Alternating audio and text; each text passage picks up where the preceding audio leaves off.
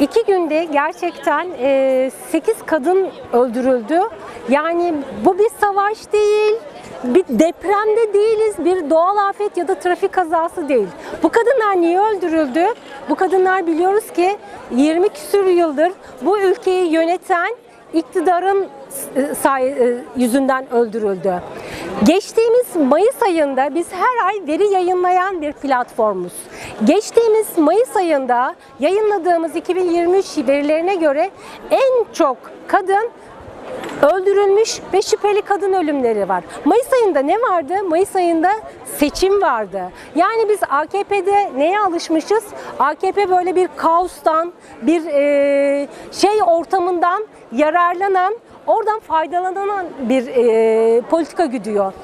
Da bu seçi geçen Mayıs ayı seçiminde de kadınlar üzerinden bu kaosu yarattı. Kadınların hayatlarını pazarlık haline getirdi.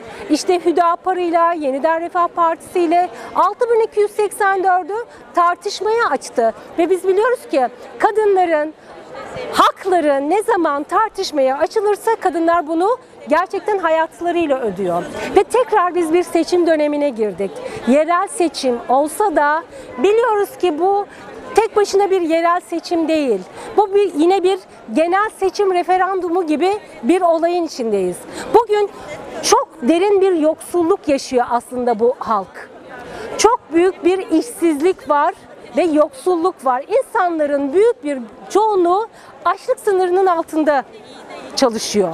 Ve o yüzden de yine AKP ve ortakları tam da yine bunu örtbas eder, etmek üzere işte kadın katillerine cesaret veriyor. Kadın düşmanı politikalarıyla bunu gündemde tutuyor ve kadınlar da bunları haklarıyla yani canlarıyla ödüyor. Kadınlar üzerinden siyaset yapılıyor. Bütün siyaset en zayıf halka olarak da göründüğü için bir şekilde belki de kadınlar üzerinden yapılıyor ve erkek egemen sistem bunu kadınlar üzerinden daha kolay, varlığını kadınlar üzerinden daha kolay sürdürebiliyor.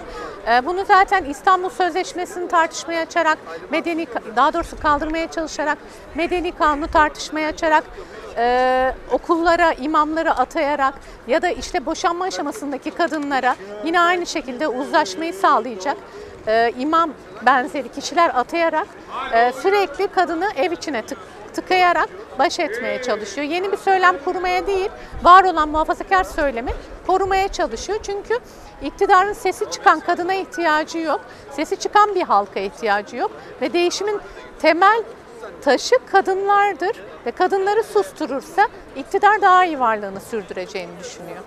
Kadın cinayetleri